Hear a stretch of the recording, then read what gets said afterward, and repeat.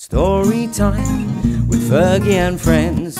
Hello, Storytime Fergie and friends, and here we are. And how wonderful is this? What's under your hat? Oh my goodness, and here comes my hat. I wondered where you'd gone to with my hat. That's wonderful. Thank you so much. Okay, here we go. So, what's under your hat, Granny? Sarah, Duchess of York, illustrated by Vanessa Liebenberg. To grannies all over the world. Tim and Ginny were off to visit Granny with a basket full of scrumptious biscuits they'd baked in this morning. I wonder what wise words Granny will have for us today, said Ginny. Tim grinned. And what will be under her enormous hat? Let's find out. They skipped along the forest path to Granny's house. Rory and Teddy came too. Along the forbidden path and under the bridge of to nowhere, Hairy Gnome grumbled and groaned because he was lonely. So he asked Squirrel, find him some friends to play with. Well, he could have said, please, don't you think? Rory and Teddy were first to spot Squirrel, and they'd like nothing better than a squirrel chase. They took off. Tim and Ginny ran after them. Suddenly the children skidded to a halt. Tim and Ginny knew never to go down the forbidden path and across the bridge to nowhere.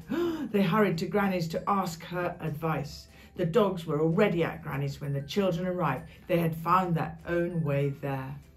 Hmm. What's under your hat, Granny? they asked when they all sat down for afternoon tea. She smiled.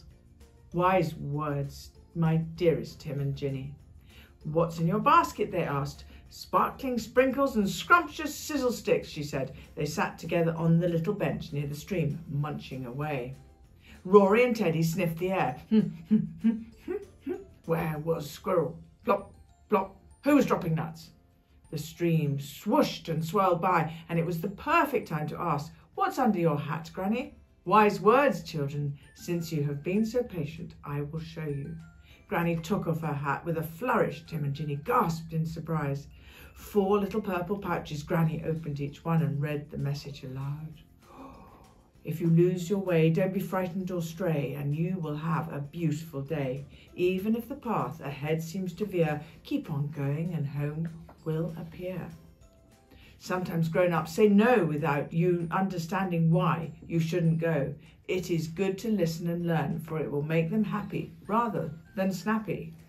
Always be kind, even when others seem unkind. Sometimes people live in fear and shout and scream, so make them beam and hold them very dear. Love your golden souls, whatever they be. We are not all the same, but we are all free. So seek the goodness in their hearts, and you will see their eyes full of glee. Granny replaced the envelopes in her hat and popped it back on her head. She smiled and said, Thank you for coming to see me. What a treat. Now off you go and be swift on your feet as the wood pigeon is calling you home. Granny waved goodbye from the gate, knowing the children were safe and not too late. Rory and Teddy ran ahead and could not resist another squirrel chase. They ran down the forbidden path and deep into the forest. No, shouted the children, come back. Rory and Teddy didn't listen.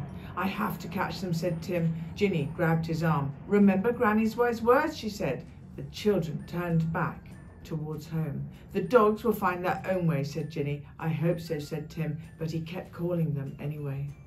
Just as the children arrived at the farm, they heard excited yapping behind them. A rabbit flashed by, closely followed by Rory and Teddy. Tim and Ginny greeted them with shouts of delight, and they all went indoors for tea.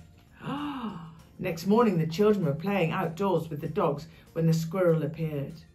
Hairy Gnome was there too, watching from a distance. Tim remembered Granny's wise words of friendship. Hello, Tim said. Hairy Gnome looked behind him. No one was there. Who? Me? he asked. Tim nodded. Come on, Mr. Gnome, you can play with us. Ginny held out her hand to him. Yes, she said, we will be your friends. They all ran around the garden together. Even the dogs and squirrels shared acorns. From that day forward, the hairy gnome was never lonely. Granny's wise words saved the day. What a lovely book and how exciting. So, always remember to be kind. With Fergie and friends, with Fergie and friends.